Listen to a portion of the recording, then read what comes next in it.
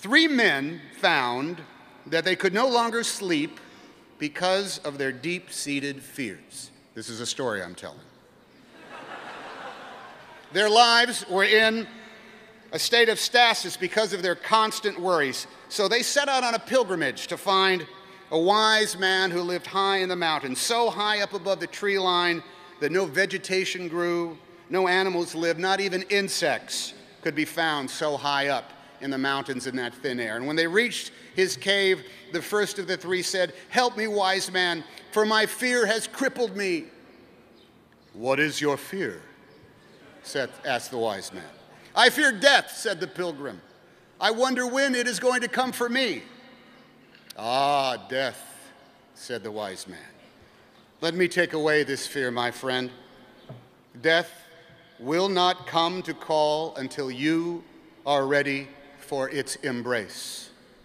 Know that, and you fear will go away. Well, this calmed that pilgrim's mind, and he feared death no longer. The wise man turned to the second pilgrim and said, What is it you fear, my friend? I fear my new neighbors, said the second pilgrim. They are strangers who observe holy days different than mine. They have way too many kids, and they play music that sounds like noise. Ah, strangers, said the wise man. I will take away this fear, my friend. Return to your home and make a cake for your new neighbors. Bring toys to their children.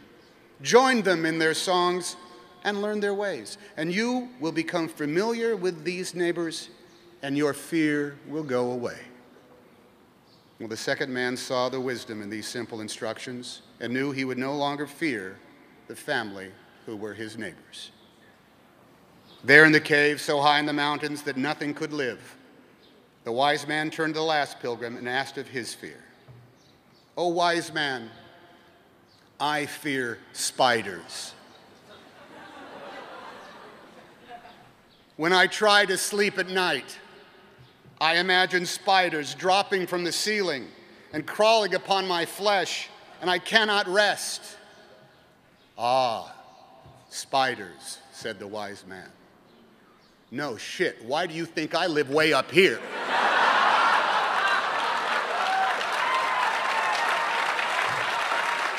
Fear will get the worst of the best of us, and peddlers of influence count on that.